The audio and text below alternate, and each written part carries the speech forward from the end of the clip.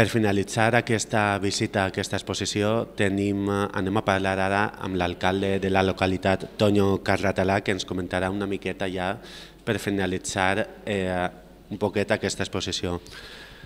Gràcies, Toño, per atendre'ns i conta'ns eh, quines activitats estan plantejades per a la Setmana de la Dona.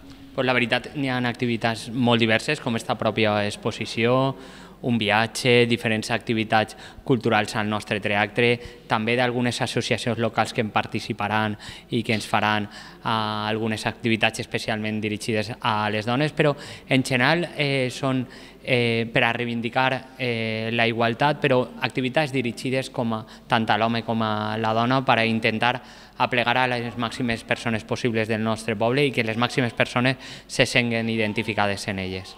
Estem veient que en aquesta exposició hi ha molt de talent a nivell local. Aleshores, eh, què simbolitza per al consistori fer una exposició on les artistes són precisament veïnes de la localitat?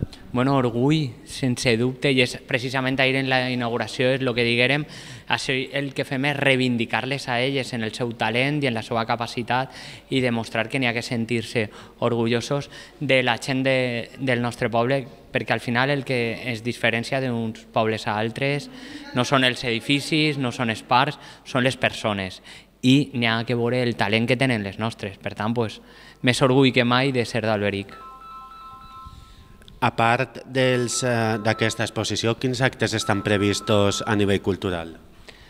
pues ara comencem en això. Demà, precisament, al teatre n'hi ha una, una actuació a nivell cultural de ball i de més. Després n'hi ha un altre dia d'un àmbit musical artístic.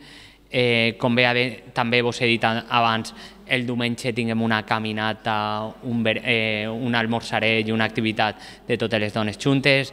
Dimarts anem a visitar la Vall d'Albaida, a visitar Ontinyent i un viatge. O sigui, activitats molt diverses per a intentar aplegar a un, a un ventall de persones el més ampli possible i per a que eh, les dones dels nostres pobles i també els homes se senguen identificats i disfruten d'esta setmana. Doncs moltes gràcies, Tonyo, per les teues declaracions i amb les declaracions de l'alcalde de la localitat d'Alberic posem punt i final a l'exposició en aquesta localitat.